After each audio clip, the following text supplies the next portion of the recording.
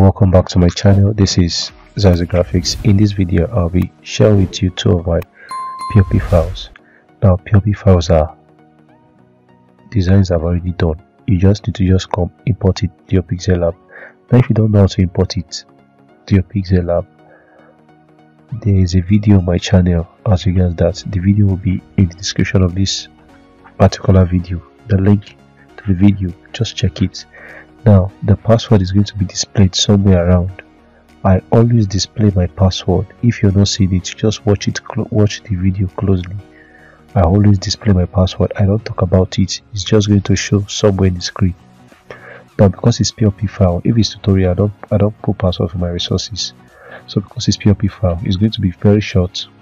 So ask be password because i need the watch watch uh the tutorials you can actually download it for this one I need to swatch out. So the first one is not this one. This is the design. Okay you can see the layers. See all the resources I used. They are here.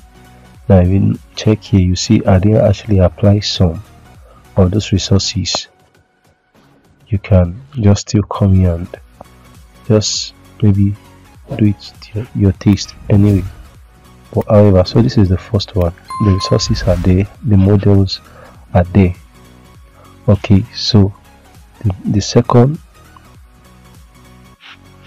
the second one is this church flyer i did. I recreated a church flyer i saw on pinterest. So if you look at it here are the resources i made use of.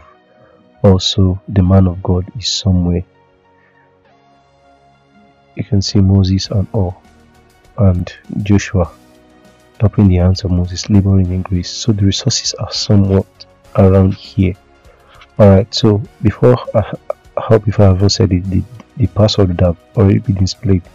I if you've not seen it, watch the video again. Definitely it's going to be displayed. Alright, so that's all for this particular tutorial. Please do not forget to subscribe to my channel.